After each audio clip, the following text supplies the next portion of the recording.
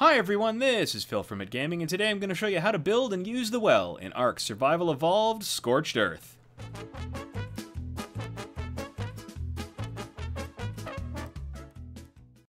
If you're in the desert and you're thirsty and you're level 15, the best solution for you is the water well engram.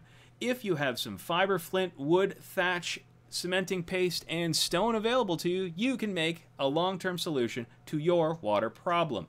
Once you've made the well, just place it on a water vein, it will replace it, and now you can see the amount of water increases slowly over time, up to a maximum of 1,000. So not only do you have more water available to you, you can even put stone pipes on it, and metal pipes as well. This is actually a whole irrigation system available to you. So just chuck a water outlet on there and bam, now you can garden in the desert. If you found this video useful, please feel free to leave a like or a comment, or better yet, subscribe to the channel. And as always, have fun out there.